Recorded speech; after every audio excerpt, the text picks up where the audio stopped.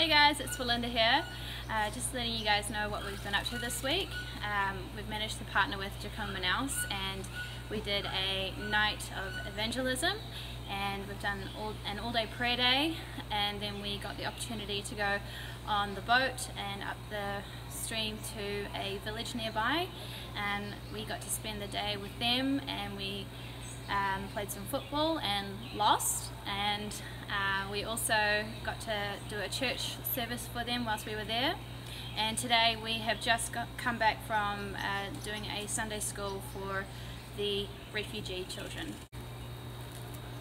Okay, wow I'm Denver, didn't see you there.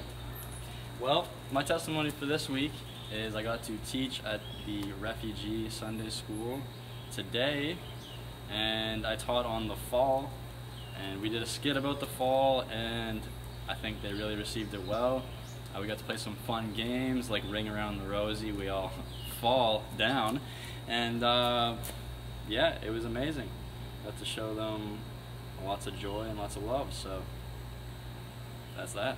Hey guys, Sam here. Uh, coming to you ask for prayer. Uh, I would like you guys to pray for our team's health, um, the people of Manaus, and uh, the staff on this base have been so hospitable. Thank you.